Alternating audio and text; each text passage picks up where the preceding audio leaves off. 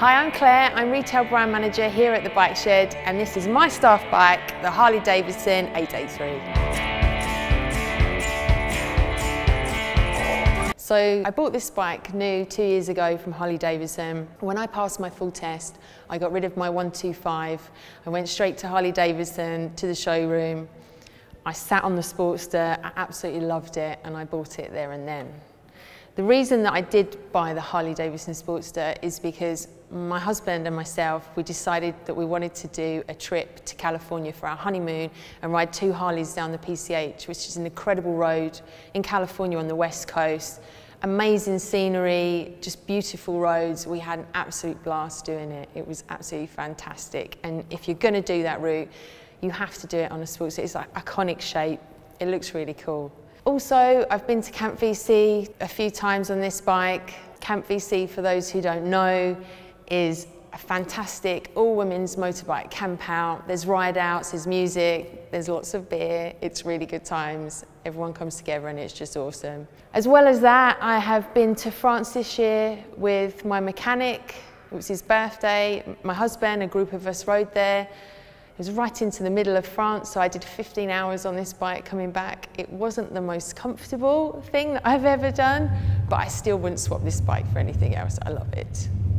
So, I've not done that much to this bike, I have to admit. Harley parts are quite expensive, but I'll tell you what I have done to it so far. It's a work in progress, so there's still things to do. So we'll start with my grips, which Gareth calls gash grips, but I really like them. I think they look really cool on my bike. He can say what he likes, but I love them.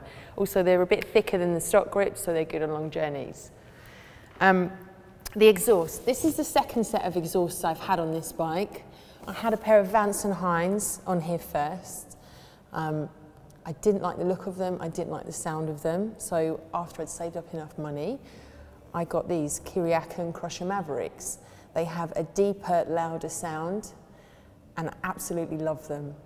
I also got the air filter from Kuryakyn. At the same time, I got the exhausts.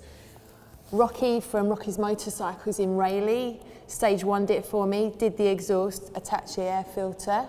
Not only is my mechanic, he's actually a really good friend now, hence the France trip.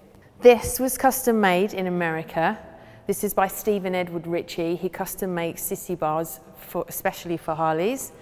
Um, it looks really cool, but also it's really practical because I can put everything on here, tent, sleeping bag, and then I can put all my stuff in my rucksack on here. So it's actually quite practical as well as looking cool.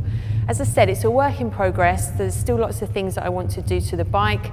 And I want to get new handlebars. I want to get new indicators. I want to get a new seat. I want to get new foot pegs. It's kind of an endless list at the moment. Um, but so far I'm really happy with what I've done to it. So now we're going to wheel it outside and I'm going to show you how it sounds. It's a little bit dark because it is really late now um, and you can see how these amazing pipes sound. Fun fact, I actually ran over a, a, nail this morning and I've got a flat tyre. So it's really hard to move it. Dan, give us a push.